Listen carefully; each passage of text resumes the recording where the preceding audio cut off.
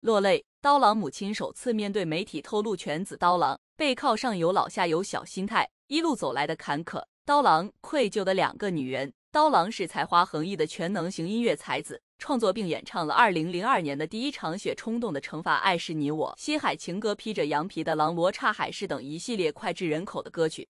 刀郎的人生和婚姻坎坷，亲情有泪有痛，对母亲和大女儿罗天有愧疚。刀郎的母亲名叫林素清。是四川省内江市资中县文工团的舞蹈演员，一九四四年七月四日出生。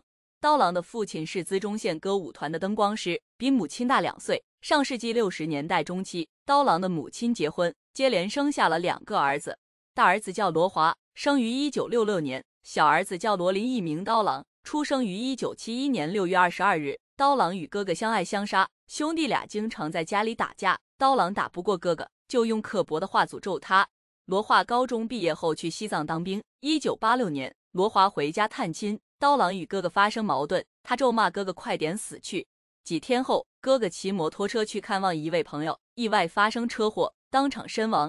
罗华才二十岁，如花生命就凋谢了。刀郎的心碎了，哭得撕心裂肺，父母陷入悲痛的深渊。一夜之间，林素清的双鬓有了白发，眼角的皱纹非常显眼，而他第二天还要参加单位的演出。结果晕倒在舞台上，刀郎背负巨大的心理压力，觉得是自己咒死了哥哥。他哭着向父母忏悔，母亲面色凝重，眼里的绝望让他心寒。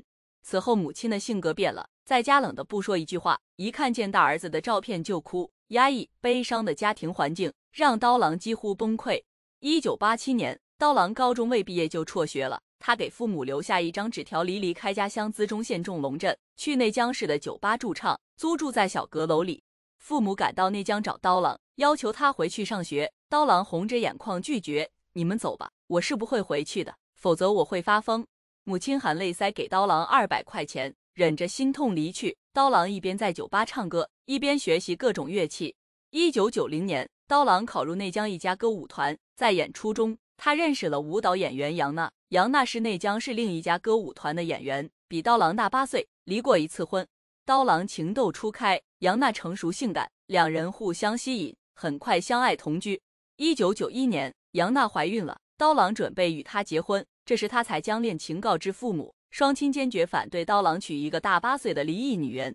尤其是林素清见了杨娜后，心里更不踏实，直觉告诉她，这个女人不会与儿子同甘共苦。林素清严肃地找儿子谈话：“你哥哥已经不在了，要是你婚姻不幸福。”妈妈这辈子还有什么盼头？赶紧与小杨分手。刀郎告诉母亲，杨奈已经怀孕几个月了，我不能扼杀一条鲜活的生命，我要将宝宝生下来。林素清骨子里有女性的悲悯情怀，同意儿子将宝宝生下来，也就同意了他们的婚事。一九九一年，刀郎与杨娜奉子成婚。婚后，两人租住在一居室里，生活非常贫困。杨娜想吃酸食、甜食，想买宽松的孕妇装，将刀枝使得团团转。刀郎收入低，希望杨娜能体谅自己，两人经常发生争吵。杨娜对小丈夫渐渐失望了。一九九一年冬天，杨娜生下女儿罗天，四十天后给刀郎留下一张纸条，然后离家出走了。她让刀郎不要找她，给她八天的思考时间。刀郎度日如年，抱着娃娃大哭的女儿泪流满面。八天后，杨娜托朋友给刀郎带话，说自己不回去了，要求与刀郎离婚。那一刻，刀郎的心碎了。刀郎要演出，只得抱着女儿坐长途汽车回资中县，将女儿托付给父母照顾。母亲问杨娜呢？刀郎不说话，只是掉眼泪。随后他哽咽讲述了杨娜离家出走的经过。母亲哭了，当初你要是听我一句劝，哪会有今天？刀郎不禁悲从中来。妈妈，我错了。林素清心疼儿子，他一边替儿子擦眼泪，一边安慰：既然你留不住他，就让他去吧。你放心，把孩子交给我们。我和你爸会照顾好他。哎呀，一个男人要想赢得别人的尊重，必须自立自强。想起自己黯淡的事业，刀郎又流泪了。但他的心里有一个声音在呐喊：我一定要成功。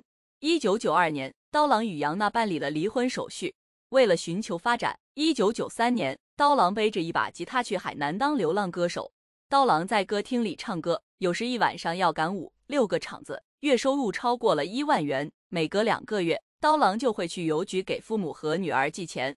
林素清和丈夫有工资，儿子又按时寄钱，他们经济条件比较优越。为了弥补孙女，林素清让孙女的吃穿都比同龄孩子要好。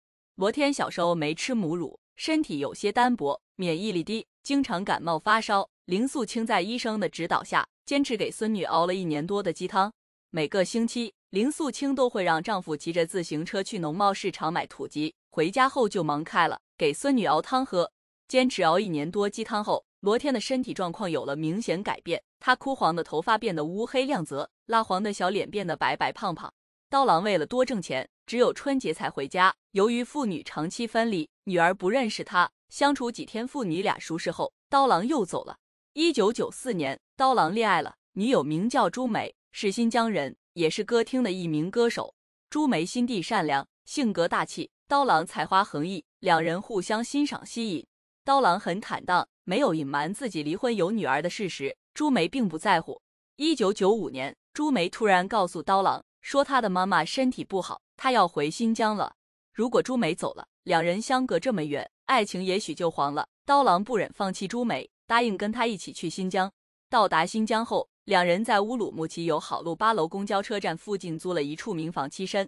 友好路八楼汽车站因刀郎被国人熟知，当时刀郎有个最大的梦想，就是有一天能回到自己的内江市资中县体育馆开一场个人演唱会，为自己和父母找回尊严或面子。为了帮刀郎实现这个梦想，朱梅与他一起凑钱，在乌鲁木齐成立了西北音乐工作室。刀郎白天出去采风，晚上写歌，但他创作的歌曲无人问津。那时刀郎生活非常贫困。一九九七年，他几乎支撑不下去了，朱梅勇敢与他结婚。一九九七年五月，两人在出租屋里裸婚。结婚前，刀郎给父母打了一个电话，说自己不办婚礼，不邀请父母去新疆。父母知道刀郎经济困窘。通过邮局给他寄了一万块钱，刀郎拿着汇款单站在窗前落泪，朱梅的眼睛也湿润了。一九九九年，刀郎与朱梅生下了女儿罗皓月。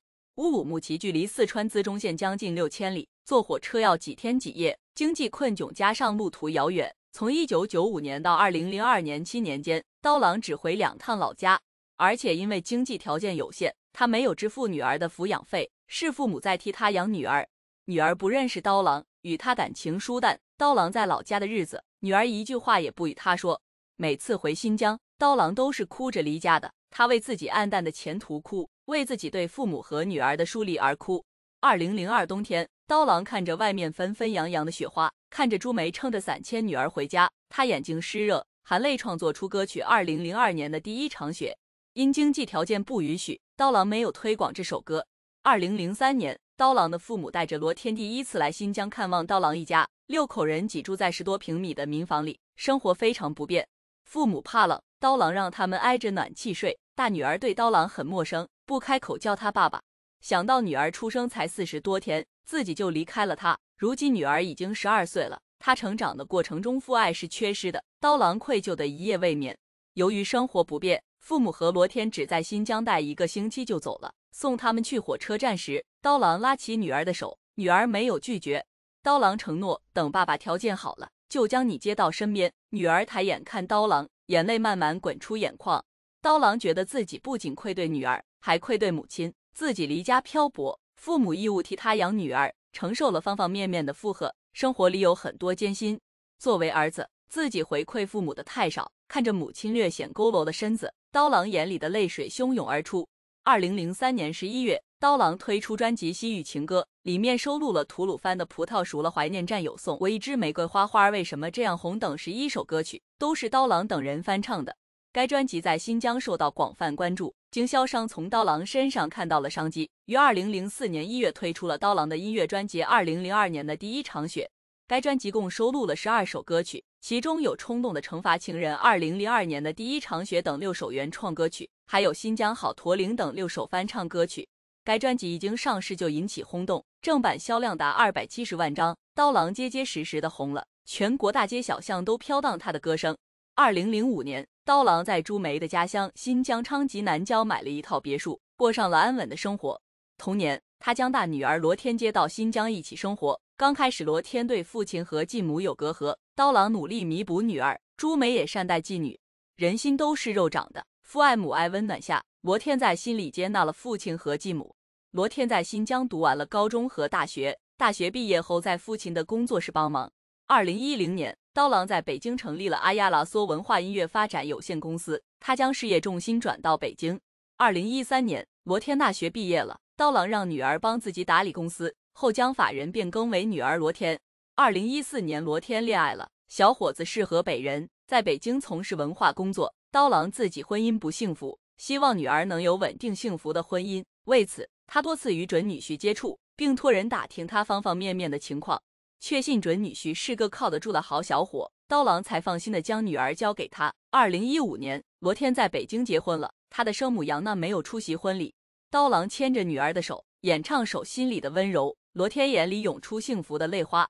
二零一七年，罗天做了妈妈，生下了一个健康可爱的儿子。婚后，罗天婚姻幸福，夫妻恩爱。他将北京阿亚拉索文化公司打理得很好，事业和生活都比较圆满。刀郎倍感欣慰。刀郎的父亲去世多年，母亲独自在资中县老家生活。刀郎要将母亲接到身边。林素清在老家生活惯了，年老体弱，不愿意出远门。刀郎只得尊重了母亲。随着年龄越来越大，刀郎更加体谅母亲的不易，他回老家的次数明显增多。二零二四年七月四日是林素清八十岁生日，刀郎特意赶回老家资中县众龙镇为母亲庆生。他在家乡邀请圈内好友用音乐歌舞为母亲庆贺八十寿辰。晚年的林素清身体健康，没有严重的老年病，也没有什么烦心事，生活平稳舒心。罗天也过上了美满的生活。刀郎最愧疚的两个女人都生活幸福美满，他的心终于踏实了。